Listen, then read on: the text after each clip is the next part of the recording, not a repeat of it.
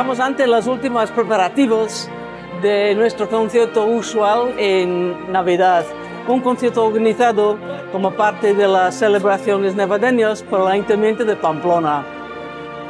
Sinfonieta de Cine, un programa de música muy popular conocido de estas películas grandes, icónicos que todos conocemos.